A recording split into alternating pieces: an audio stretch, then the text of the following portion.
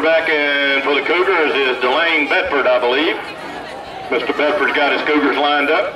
In the backfield is number 22, Williams.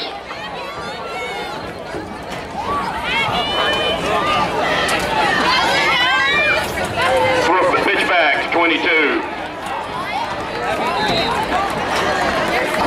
And he's brought down.